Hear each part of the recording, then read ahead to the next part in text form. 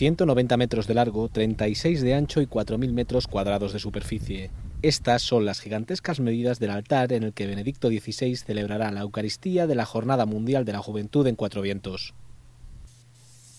La obra, construida por OHL y FCC, cuenta con una ola o montaña con más de 9.000 metros cuadrados de superficie rugosa de color blanco. Así lo destaca el director de la obra de FCC, Francisco Pelluz. Que quiere hacer un efecto pues tipo iceberg de un color blanco llamativo eh, donde se podrán hacer proyecciones y bueno, se utilizará como una especie de, escenario para el, para el evento. En la parte central hay además una estructura en forma de árbol que dará sombra a su santidad. Como elemento principal o más significativo podemos destacar este, este árbol, este, esta escultura ¿no? en forma de árbol que, se, que tiene una función fundamentalmente, además de estética, para poder dar sombra a lo que es el altar central.